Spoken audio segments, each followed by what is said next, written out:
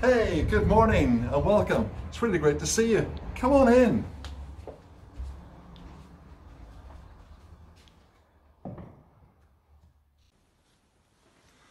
Good morning and welcome to our service here in Greystones Presbyterian Church. You're very welcome for wherever in the world you are, and particularly if you're a member of Greystones. Um, it's great that we're joining together to worship God. Just got a few announcements before we begin our service properly. I want to mention that this week we continue with our noontime reflections. Tomorrow, Terry Price will be speaking to us, 12 noon, on our YouTube channel, and then on Tuesday I will be back on Facebook Live. Um, that's on Tuesday, so they happen each day. Also, just want to mention our giving. As I've mentioned the last couple of weeks, uh, we're not in church to give as we normally do. Many people do give by standing order, which is great. But if you're not one of those, let me just encourage you to keep putting your money in your envelopes or set it aside so whenever we do come back to have our service here, you can bring that with you. If you want any more details about giving or other ways to give, um, including by standing order, uh, all the details are on the church website, probably on the little tab saying finance. Have a look at that. I also want to say thank you to everyone who takes part in these services. Um, it just makes it very special, but particularly to Bobby Davison. Bobby gets all these video clips from all over the place, and he's the one that pieces them together and makes them look beautiful. So if there's any complaints about our services, Bobby's actually the one to go to. Bobby, thanks a million for your, your time, your generosity, and your skill. And finally, I'd just like to mention that five years ago today, on the 17th of May, which is our son's birthday, happy birthday, Thomas, and anybody else who's having a birthday today. But five years ago today was my first service in Greystones as the minister here. Not amazing? Five years to the day. Five years ago was Sunday, the 17th of May. Where have those five years gone? It's been a great journey. Um, so, I think that concludes our announcements.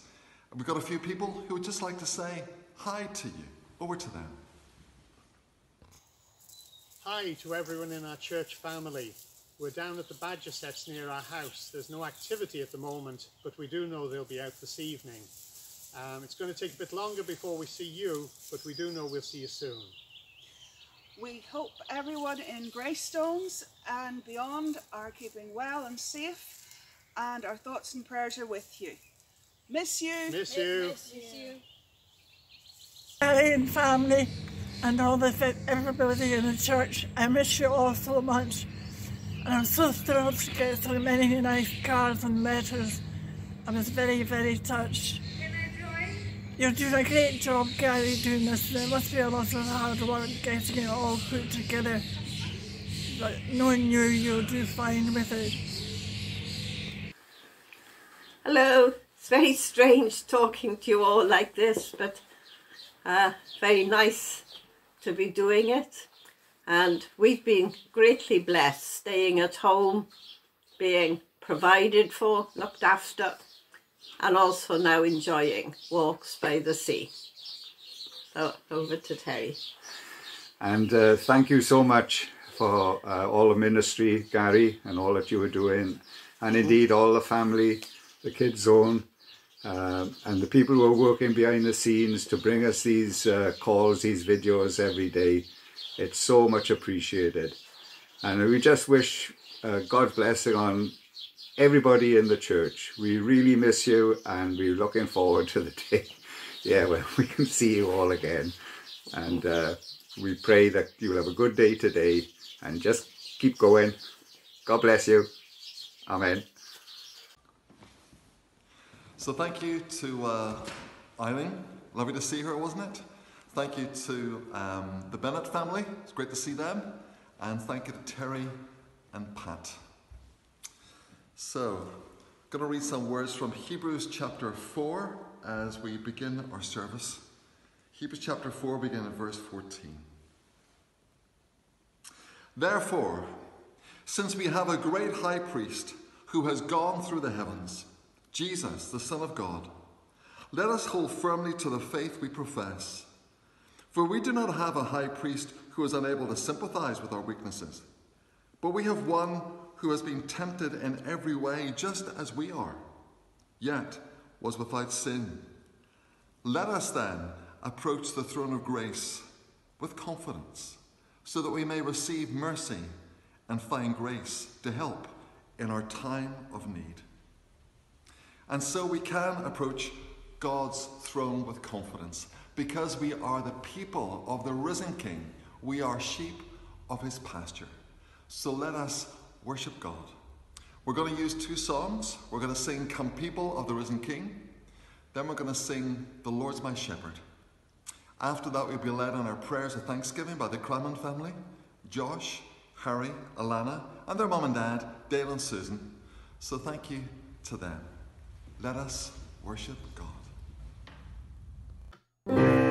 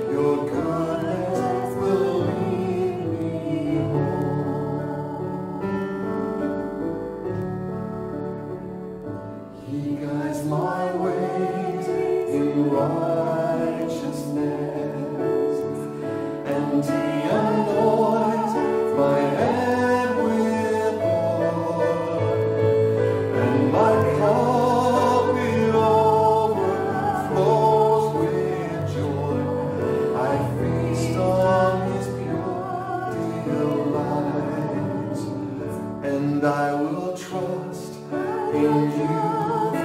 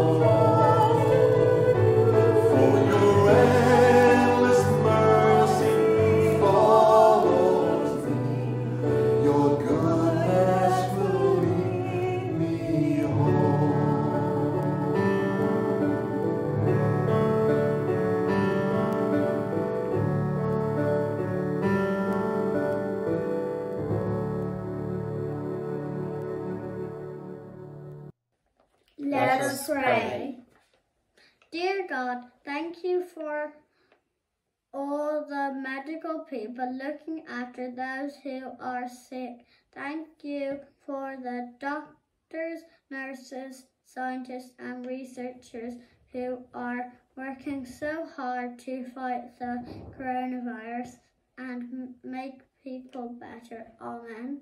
Amen. Dear God, thank you for our schools and our teachers who are working so hard for us at the moment. Help our parents with homeschooling and enable us to learn as much as we can. We hope to get back to school in September. Help our schools to prepare for this and give wisdom to people in power to organise this in a way that is safe for all. Amen. Amen. Amen. Dear God, we pray for our political leaders and decision makers that you may give them the wisdom to make the important decisions in terms of protecting public health and also enabling our economy to reopen. There are many people offering advice to them just now. Give our leaders the calmness of mind to enable them to charter the best way forward. Amen. Amen. Amen. Dear God, life has changed so much for us all. Support the families who are juggling so much, working from home or on the front line, and homeschooling. We think of those people who have lost their jobs. We know you have a plan for us all. Help us to remain trusting in your plan and providing a prosperous future for us all. Amen. Amen. Amen. Dear God, thank you for all for all our families. Please keep us all safe. I can't wait to hug my grandparents. Amen. Amen. The reading today is from Matthew chapter 18, verses 21 to 35, the parable of the unmerciful servant. Then Peter came to Jesus and asked, Lord, how many times shall I forgive my brother or sister who sins against me? Up to seven times? Jesus answered, I tell you, not seven times, but seventy seven times. Therefore, the kingdom of heaven is like a king who wanted to settle accounts with his servants. As he began the settlement, a man who owed him ten thousand bags of gold was brought to him. Since he was not able to pay, the master ordered that he and his wife and his children and all that he had be sold to repay the debt. At this, the servant fell on his knees before him. Be patient with me, he begged. I will pay back everything. The servant's master took pity on him, cancelled the debt, and let him go. But when that servant went out, he found one of his fellow servants who owed him a hundred silver coins. He grabbed him and began to choke him.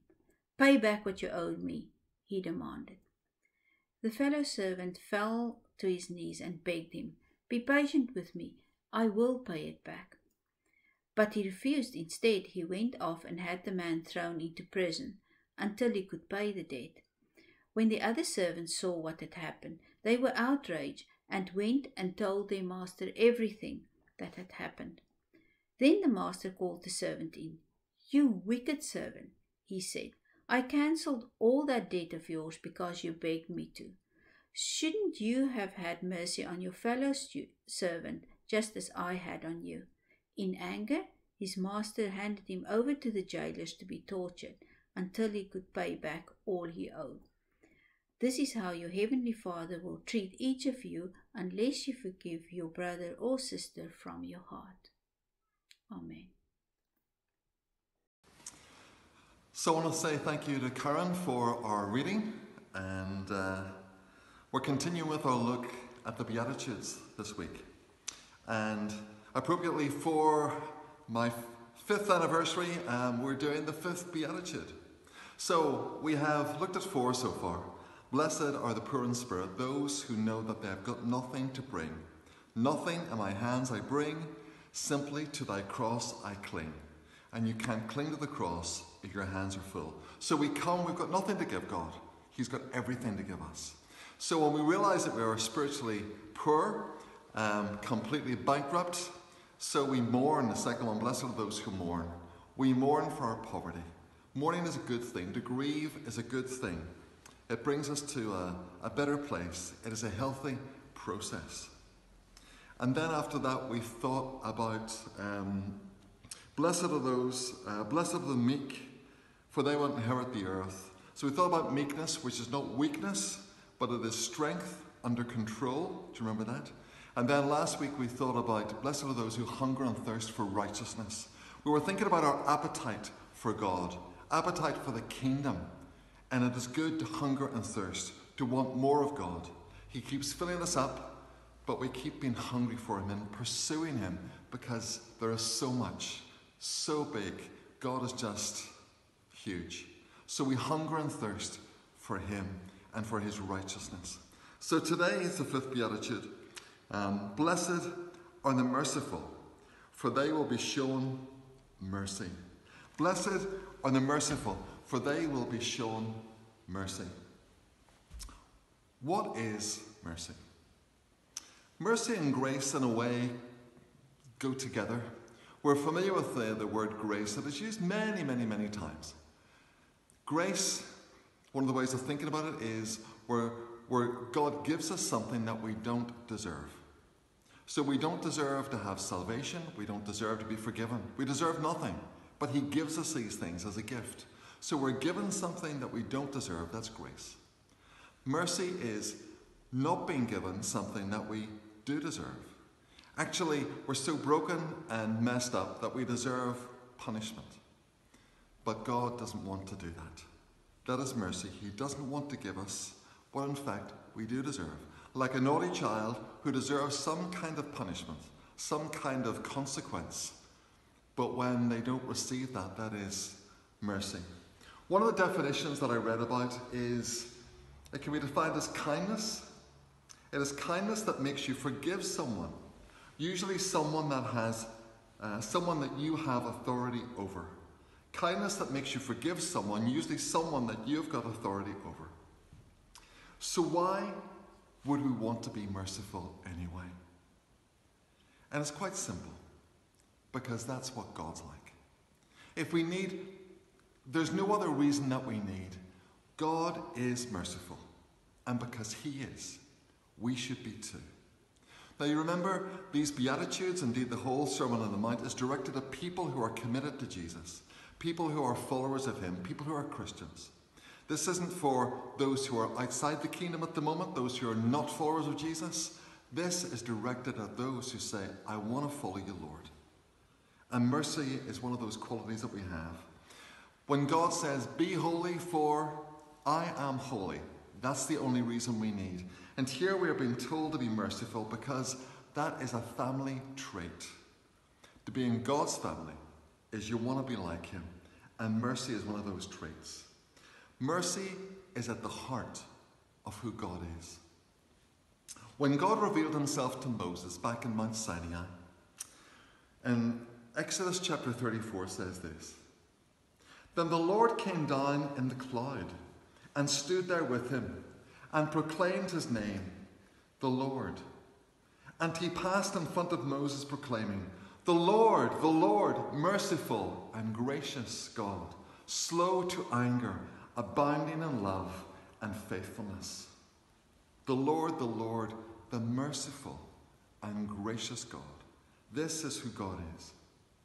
Back in Genesis chapter 18, um, Abraham had an encounter with some angels.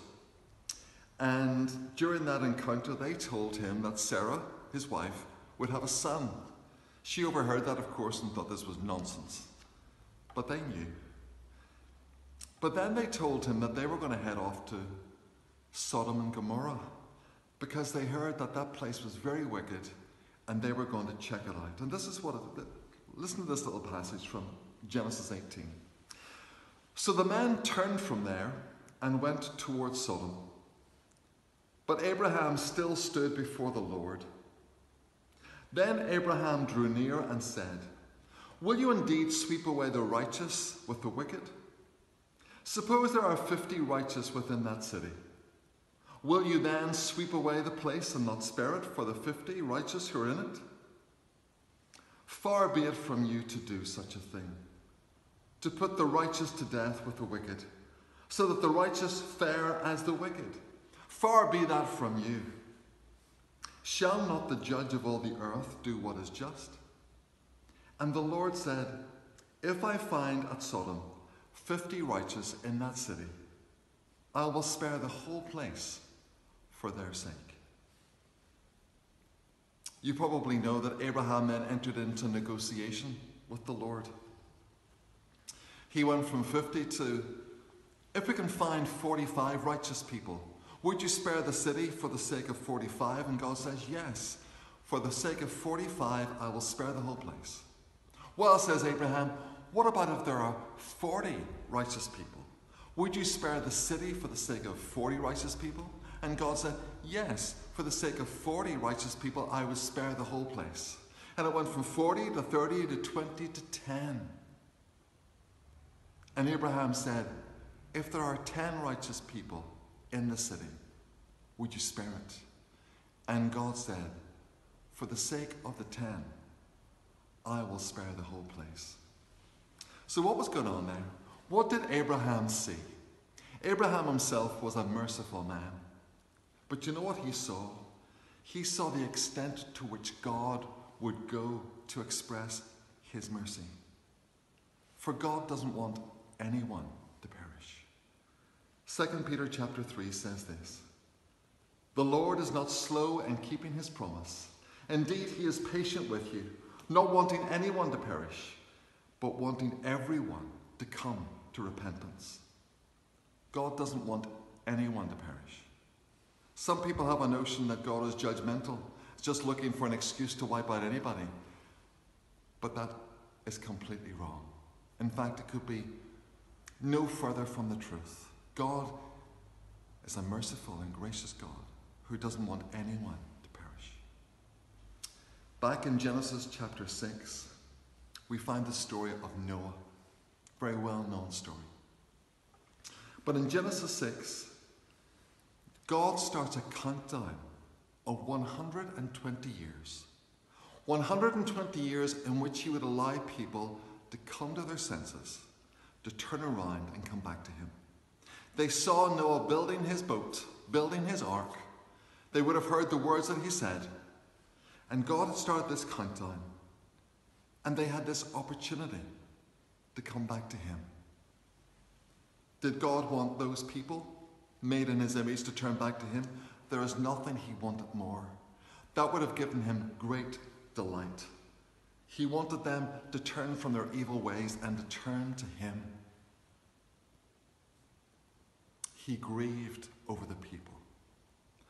It's a bit like Jesus when he was coming into Jerusalem. Do you remember he looked over Jerusalem and he said, How often I have longed to gather you like a hen gathers her chicks, but you would not let me. Jesus wept over the city. He just longed for them to come to him, longed for them to come to his Father, but they would not come. At every turn, the Lord does everything in his power to turn the people back to him so that he can bless them. That's what he wants to do. He wants to bless. Over and over again, he wants to bless. In Isaiah chapter 5, God likens Israel to a vineyard. A vineyard that he's planted, a vineyard that he loves, a vineyard that he wants to produce really beautiful grapes, but over and over again simply produces bad fruit. And this is what he says God asks, What more could have been done for my vineyard than I have not done for it? What more could I do? This is our God who was out of his way. What more could he do? He says, This is the Lord, the Lord, the merciful and gracious God, abounding in love and faithfulness and slow to anger. We come into the New Testament. In John chapter 13, leading up to the crucifixion, this is the night before Jesus died. The disciples and Jesus are in the upper room, as you know, and they celebrate the Passover.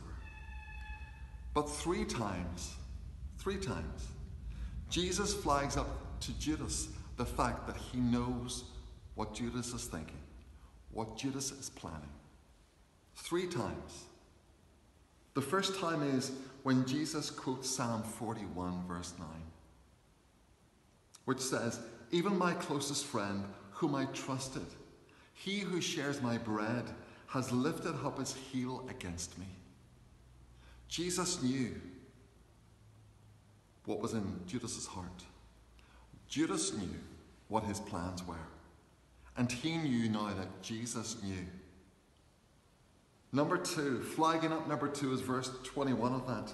Jesus was troubled in spirit and testified, I tell you the truth, one of you is going to betray me. For the second time, Judas heard those words. Judas knew that Jesus knew what he was up to. And then the third time, Jesus dipped a piece of bread and gave it to Judas and said, What you are about to do, do quickly. At any stage, after any of those three incidents, at any stage, Judas could have said, The game's up. Jesus knows. What am I thinking of? I'm not going to do this. I'm going to abandon this mission. This is not the right thing to do. I will not do this. But each time he chose not to think that or not to do that. And even afterwards, afterwards, if he had come to his senses, he could have come to God, who is the merciful and gracious God, and thrown himself in God's mercy and said, I was a fool. Please forgive me. He could have been forgiven. But he chose not to do that. God does not override our freedom to choose. But he is the Lord, the Lord, the merciful and gracious God, slow to anger, abounding in love and faithfulness. Many people have found his mercy. You remember Peter? Peter vehemently denied Jesus three times. And yet, he found in Jesus someone who was merciful. He was restored, forgiven. Paul, the Apostle Paul, writing to Timothy, says this in 1 Timothy Even though I was once a blasphemer and a persecutor and a violent man, I was shown mercy. I was shown mercy so that in me, the worst of sinners, Christ Jesus might display his unlimited patience as an example to those who would believe on him and receive eternal life. Many, many people have found the Lord, to be the merciful and gracious God. The writer of Hebrews in chapter 2 calls Jesus a merciful and faithful high priest. Go back into the Old Testament to Micah chapter 6, verse 8. These very famous words of the prophet Micah. The people, of course, had their, their rituals and their sacrificial system. It was a way to aid them to come close to God and for God to come close to them. And yet, listen to the words of Micah. Would the Lord be pleased with thousands of rams, with 10,000 rivers of oil? Shall I present my firstborn for my transgression, the fruit of my body for the sin of my soul? He has shown you, O mortal, what is good. And what does the Lord require of you? To act justly, to love mercy, and to walk humbly before your God. Moses had given them Ten Commandments. Micah pares it down to three to act justly, to love mercy, and to walk humbly before your God because we, we serve a God who is merciful. One time when Jesus was having dinner at Matthew's house, the Pharisees cornered the disciples and they asked them, Why Jesus? Why their, their master, their rabbi, their teacher? Why did he eat with tax collectors and sinners? And I love what Jesus said in response to this because he heard what was going on and he went to them and he quoted Micah to them. And he said to them, Go and learn what this means.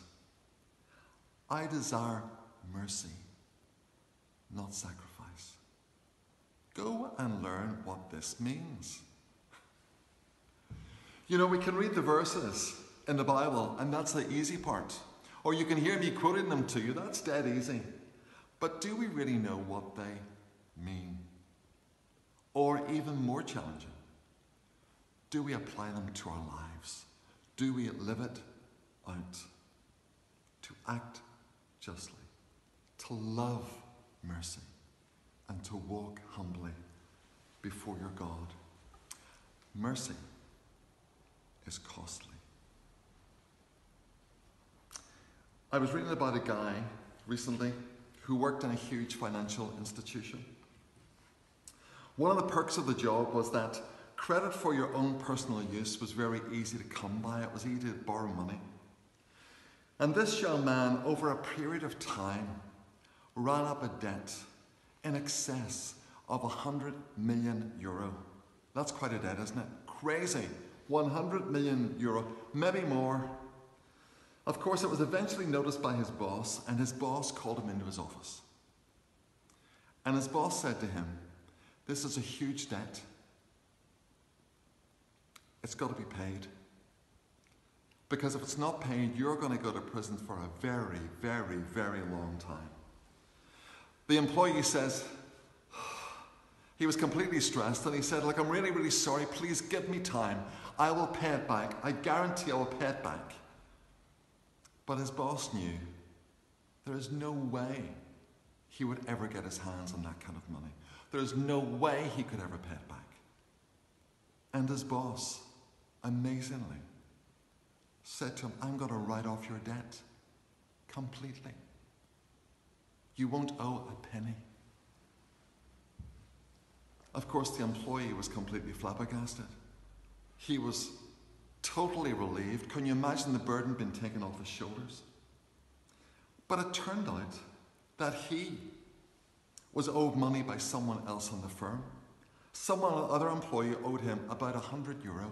It wasn't very much.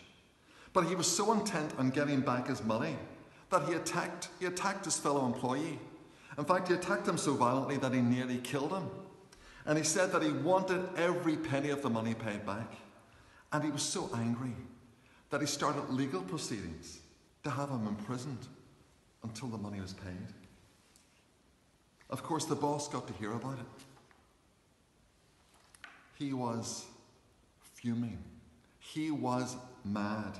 He couldn't believe that someone who had been forgiven so much could be so petty, so hard, so mean to someone else. Of course, this story that I've read is a story that we've heard today from Matthew chapter 18 about the unmerciful servant. Jesus told this story in response to a question from Peter, his disciple. Peter wanted to know how many times he needed to forgive someone. You know, you might forgive someone once, maybe even forgive them twice, forgive them three times. Three strikes and you're out. Isn't that what we believe? So when he went to Jesus, he says, Do I have to forgive my brother even up to seven times? He thought this was ultra generous. Seven times. But Jesus showed him that it wasn't a matter of numbers. It wasn't a matter of rules and regulations. It was a matter of the heart. To have a disposition of being merciful to broken people. For we're all broken people, all of us. We're all needy people. You know, mercy feels so good to receive, but mercy is often so hard to give. Yet, for those who are followers of Jesus, it is a requirement. You know what He requires of you to act justly, to love mercy, and to walk humbly before your God. Of course, the great, greatest expression of mercy is the cross. The cross that stood at Calvary. The cross that Jesus went to for you and for me. God's greatest gift, God's greatest sacrifice, the greatest expression of mercy. It was costly for Jesus to show mercy. And it will be costly for you. But we have been given so much. So, how can we withhold mercy from another? Jesus said to us, We've got to pick up our cross and follow Him. Those who are followers of Jesus must be merciful because He is merciful. We who have received mercy must show mercy. So, what does that look like in everyday life? Perhaps if we can look at people and see them as though we're looking at ourselves. How would I want myself to be treated? How would I want to be judged by another? How would I want to be helped if I was in financial difficulty? How would I want to be forgiven if I'd done something silly? To look at other people as though we look at ourselves. And isn't that exactly what Jesus said? For Moses gave the Ten Commandments, Micah brought it down to three, but Jesus brought it down to two. To love the Lord your God with all your heart and soul and mind and strength, and to love your neighbor as you love yourself. And wouldn't you want someone to be merciful to you? And God has been. So when we show mercy, we are blessed. For blessed are the merciful, for they will be shown mercy. May God be gracious to all of us, to help us to be like Him. We're going to respond to this as we sing a song. We're going to sing the lovely hymn, um, uh, Here is Love, Vast as the Ocean. Then after that, we are going to be led in prayer by one of our elders, Geraldine Easter, as we have our intercessory prayer. And then after that, we're going to conclude our service as we sing the beautiful old hymn, Amazing Grace, written by John Newton, who was himself a slave trader, but he realized how wrong he was and how he'd been shown grace by God and how it made him change his ways. So, that will be the conclusion of our service Amazing Grace. Música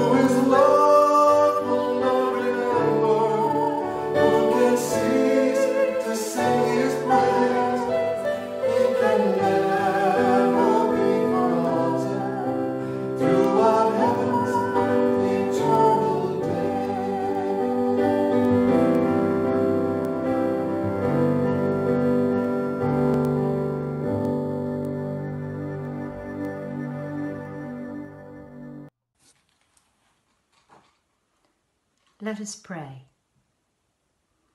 Loving Lord and Heavenly Father, let us remember those countries in the world where the populations are vast and they are facing this pandemic, where medicines and equipment to deal with this virus are in short supply or non existent.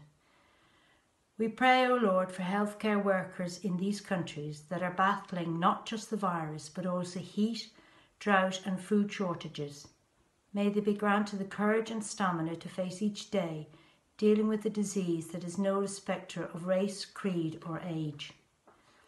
We also bring before you the governments of these countries as they struggle to combat people's fears and anxieties and put in place safety regulations for the good of their nations.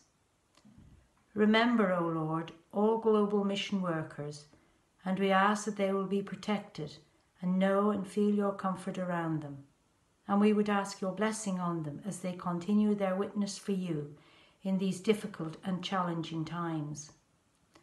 O Lord, as we enter the first phase tomorrow of easing restrictions in this country, we would ask that the nation be patient and follow guidelines in the continuation of the suppression of this virus as laid down by the government, so as to ensure that as the weeks go by, the country may begin to return to work in an orderly fashion. We continue to remember those who place themselves on the front line in hospitals, in the ambulance service, fire brigade, delivery personnel, shop workers, and many more.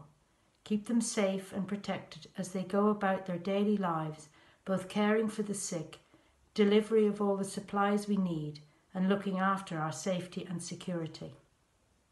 Remember, O Lord, people who are by necessity separated from their families and who are unable to be with relatives while they mourn loved ones, or those who are seriously ill in hospital, those who live on their own and have no one to talk to, those who suffer with mental health problems and addictions, Draw close to them, O Lord, and give them comfort.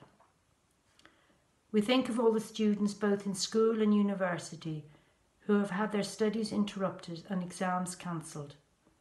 O Lord, we would ask that they would feel a sense of peace as they face an uncertain outcome to what the future holds for them. Many students will be assessed by teachers on the work they have already done, and we would ask for clarity and fairness in the grades that will be awarded in this way. Finally, O Lord, in these times of constant change and challenges each of us face, let us remember to fix our eyes on you and to know you are always there for us, no matter what the circumstances are or the situations we find ourselves in. Enable us to have faith in you and to grow in the knowledge and love of you as the days go by. We ask it all in the name of our Lord and Saviour, Jesus Christ. Amen. Amen.